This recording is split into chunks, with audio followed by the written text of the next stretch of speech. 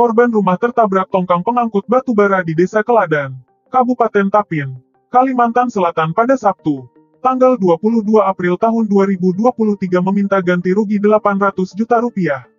Diketahui dua tongkang milik PT Rimau Bahtera Shipping dan PT Batu Gunung Mulia Energi itu menabrak 35 rumah dan puluhan alat transportasi air milik warga.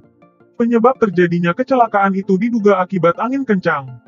Melalui video yang dibagikan akun Instagram @seindonesiaku terlihat pihak kepolisian bersama perwakilan perusahaan pemilik tongkang mendatangi kediaman warga yang rumahnya hancur. Dalam negosiasi tersebut, seorang wanita pemilik rumah meminta ganti rugi sebesar 800 juta rupiah kepada pihak perusahaan pemilik tongkang. Menurutnya hal ini lantaran rumah yang terbuat dari kayu ulin hancur beserta perabotan di dalamnya. Ulun minta 800 pang.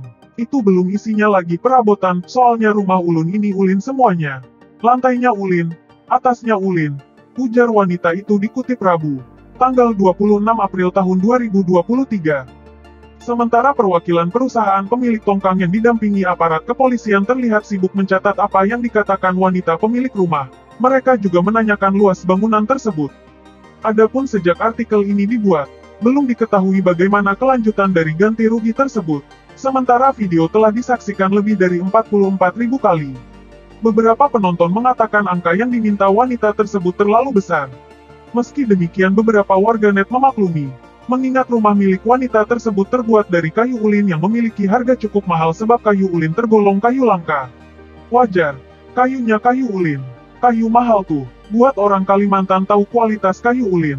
Komentar salah seorang warganet, ini bukan masalah rumah kayu atau bukan, tapi taruhannya nyawa. Wajar-wajar aja dia minta 800 JT.